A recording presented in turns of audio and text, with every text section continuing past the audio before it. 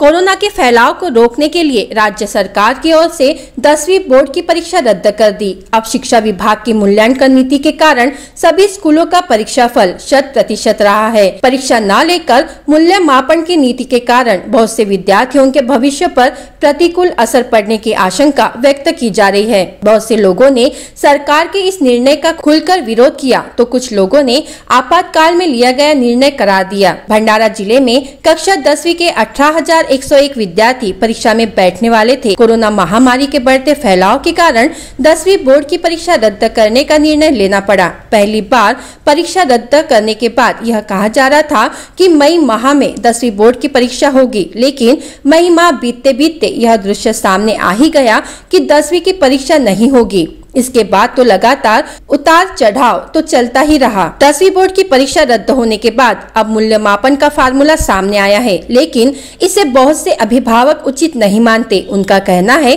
कि दसवीं, बारहवीं की परीक्षा के बिना विद्यार्थियों का नींव कमज़ोर हो जाएगी और वे भविष्य में होने वाली प्रतियोगी परीक्षा के लिए खुद को अच्छी तरह से तैयार नहीं रह पाएँगे। B S Crime India News के साथ जुड़े रहने के लिए YouTube website Twitter Facebook Instagram पर वीडियो देख लाइक कमेंट और शेयर करें। साथ ही यूट्यूब चैनल को सब्सक्राइब कर बेल आइकन दबाना ना भूले और गूगल प्ले स्टोर से B S Crime India News dot com की एप्लीकेशन को डाउनलोड कर रोज़ाना ताज़ा खबरों के लिए हमारे साथ बने रहे।